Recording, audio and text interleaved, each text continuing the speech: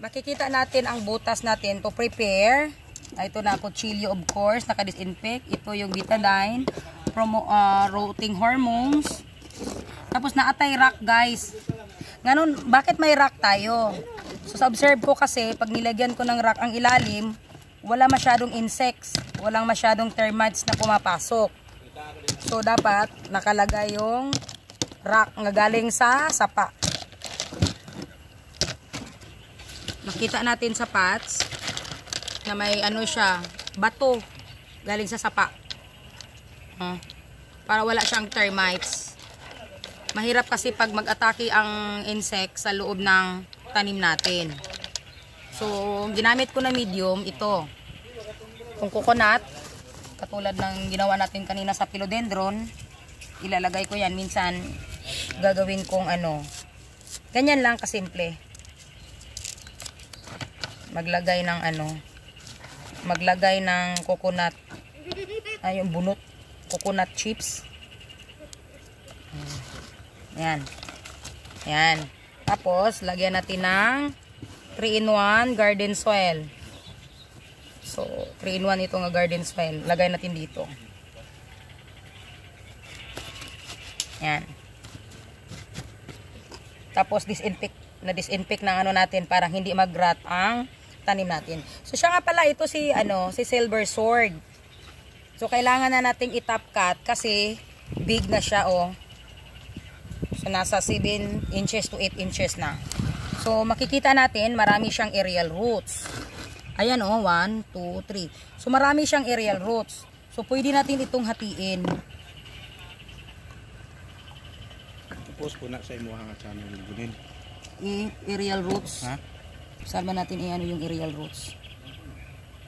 So, dito. Da- dapat slice yung pagkat para ang tubig hindi papasok. Para hindi ang, ang tubig hindi papasok sa loob ng Ah, Tanim. ka? magpropagate ako live. Oh my god, ang tigas pala nito. Gas yung. oh. So makikita natin ang laki, ang laki na ng aerial roots. Oh, may ara. May ara gid. so nadala pa yung ano niya, bunot. So ang ganda. So para mo na na, maturok na na. oh, turok na yun siya. oo. So lagyan natin ng para madali lang maghilom ang sugat. Lagyan natin ng aloe vera, fresh aloe vera ang sugat. Ganan. Oh. Oh. Ito at the same time, itong gikatan niya para hindi siya mag magtampo. Oh, ayan. Ayan. Ah. So parang wala lang nangyari as usual. So ito nakikita natin. So medyo nag-dry na siya, maglagay na tayo ng betadine. Betadine solution. Akala ko tao lang magamit ng betadine. Oo, pwede ito sa tanim. Kasi may sugat ang tanim. Uy, para naubusan na tayo. Yung isa. Saan ba yun? Kunti lang betadine. Uy. In. The same time, dito din sa puno. Para madali lang ang sugat na maghilom. Oops, oops. Ayan. So, itanim na naman natin ito. Itanim natin in perfect ano, timing. So, nandyan yung ano niya, coconut hash. So, magkuha naman tayo ng cubes.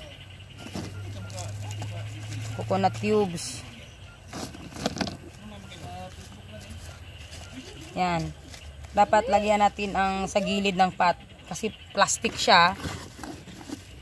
Ano, dapat hindi makadikit ng ano. Ay anyway, ang market value pala nito 5 leaves nasa 800. So ngayon iwan ko kung ano ba. So medyo expensive pa rin ito ngayon. Ang presyo. So na ma- makita nyo sa description, just comment below kung magkano ang bulaklak na ito. Ilagay ko yung ano doon sa prescription ko. Tapos, tabunan naman siya ng yung 3-in-1 garden soil.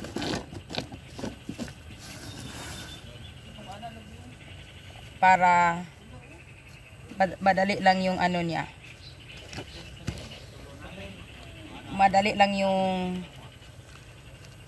pag-absorb niya. Ito. Itong garden soil.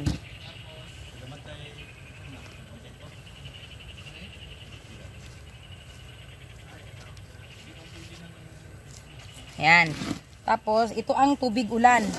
Ang dinidilig ko pala sa halaman ko, ulan. Kasi proven and tested talaga si ulan. So, lagyan ko ng rotting hormones. Dalawa lang. Para para madali siyang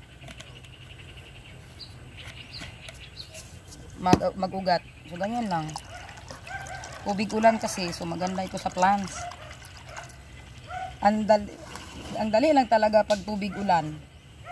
So, as usual, diligan natin. Ganyan. Uy, tumulo. Tumagos. Tum- Tumagos. Baha na. So, ito na. Ito na siya. Si Silver Sword Philodendron. Ang price nito, just comment below. And upon my description, i-ask nyo lang ako sa presyo nito. Hanggang dito lang. Bye-bye!